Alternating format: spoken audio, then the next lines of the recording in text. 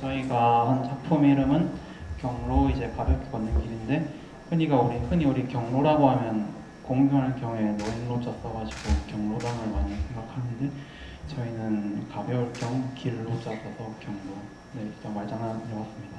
그래서 저희는 이제 사이트는 아니, 사이트 이전에 저희가 맨 처음에 주목하고 싶었던 좀 사회적 현상은 이제 노인분들이 요즘엔 기대 수명도 올라가다 보니까 이제 퇴직 후에 할 일이 없으셔서 이제 길거리를 좀 많이 돌아다니는 경우가 많은데 이제 그런 노인들이 제일 많은 곳이 어딘가라고 해봤을 때 탑골공원 주변이라는 결론을 내렸습니다. 그래서 탑골공원 주변에 이제 좀 노인들에게 추억이 될 수 있는 공간 그런 공간이 어떤 곳이 있을까 그리고 그런 공간이 이제 건축 자산이지 않을까라는 생각하에 파고다 극장이라는 이제 사이트를 찾게 됐습니다.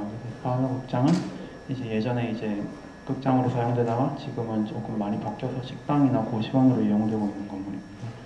그래서 기본적으로 저희는 이제 조금 증축할 필요성을 느껴서 이제 상하에 좀 대비를 많이 사용하려고 있습니다. 4층부에는 이제 그 오리지널이 있던 건물을 충분히 활용해서 이제 도서관이나 이제 노인들이 좀 사용할 수 있는 그런 공간을 많이 조성했고 이제 위층에 이제 4, 5, 6층에는 이제 그 노인들의 운동 공간이죠. 그 램프, 외부 램프를 돌아오라 하면서 조금 노인들의 노인들이 조금 복지 공간에 대한 그런 인식을 좀 바꿔주고 싶었습니다. 그래서 경로당이라고 하면 우리는 흔히 좀 깝깝하고 좀 그냥 노인들 앉아 있는 그런 건물을 상상하는데 노인들의 이제 복지 공간도 충분히 이제 좀 세련될 수 있다라는 걸 보여주기 위해서 이제 저런 램프를 돌아오면서 운동도 하고 그리고 이제 뭐 그늘이 좀 필요할 것 같다는 생각을 해서 이제 비트맵을 짜서 저희가 이제 double skin을 한번 둘렀습니다.